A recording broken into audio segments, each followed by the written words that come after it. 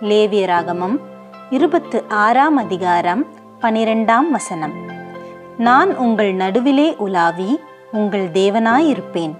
நீங்கள் என் ஜனமாயிருப்பீர்கள்.